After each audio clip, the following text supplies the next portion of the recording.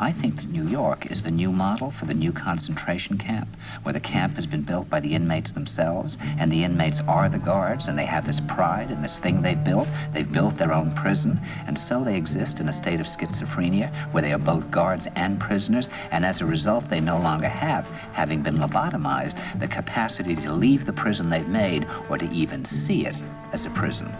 Of course, the problem is where to go, because it seems quite obvious that the whole world is going in the same direction. Inconceivable! See, I think it's quite possible that the 1960s represented the last burst of the human being before he was extinguished. And that this is the beginning of the rest of the future now, that from now on there'll simply be all these robots walking around, feeling nothing, thinking nothing.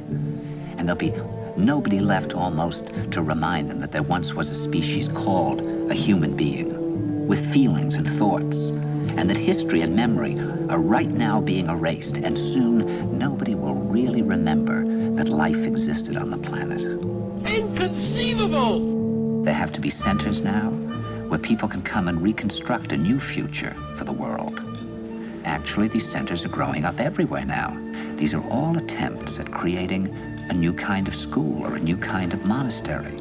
Islands of safety where history can be remembered and the human being can continue to function in order to maintain the species through a dark age.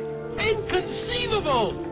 In other words, we're talking about an underground, which did exist in a different way during the Dark Ages among the mystical orders of the Church.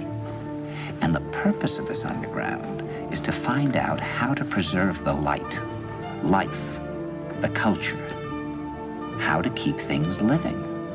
Inconceivable! You see, I keep thinking that what we need is a new language, a, a language of the heart. Some kind of language between people that is a new kind of poetry.